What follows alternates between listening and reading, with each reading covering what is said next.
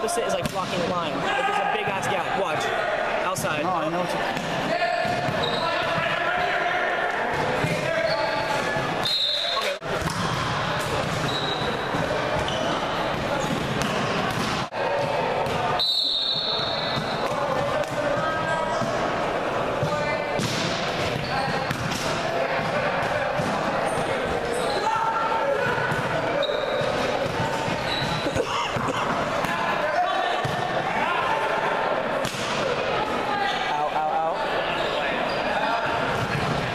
Nice, Chris.